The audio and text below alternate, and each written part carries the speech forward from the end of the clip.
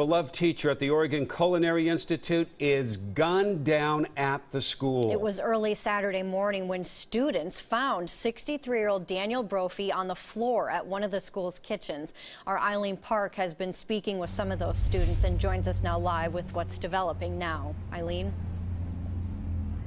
Jennifer, Chef Brophy wasn't your average teacher. Students tell me he was tough but fair and that he would always go out of his way to help you out. As Dominique Boza whisks away at Palomar on Southeast Division, a job she got this year after graduating from the Oregon Culinary Institute. She can't help but think about her mentor, Daniel Brophy. He was really tough.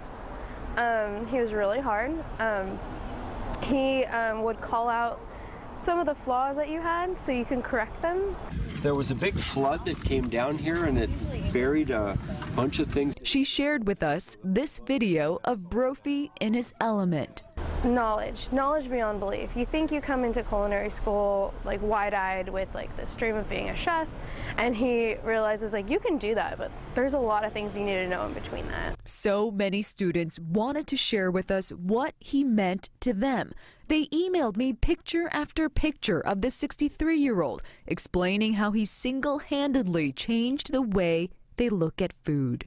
He was a friend to everybody out of the school, holding stuff on the weekends to help you learn more, taking students out mushroom foraging or showing you how to properly raise a chicken from start to finish. Right now, Portland police detectives are looking for the person or people responsible.